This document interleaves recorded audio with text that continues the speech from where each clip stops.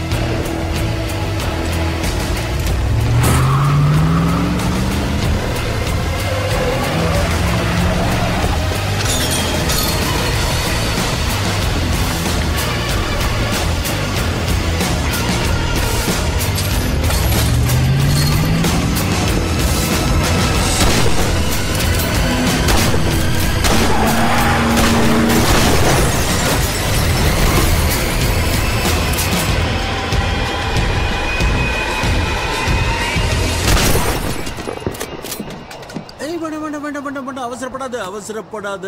John. அவன் எங்க இருக்கான்? ஷூட் பண்ணாத.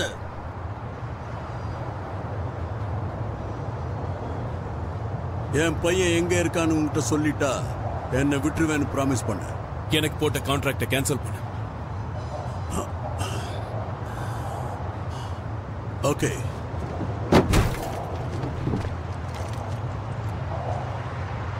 அவன் ரொம்ப பாதுகாப்பான இடத்துல இருக்கான். புரோக்லன் four three four Wallace place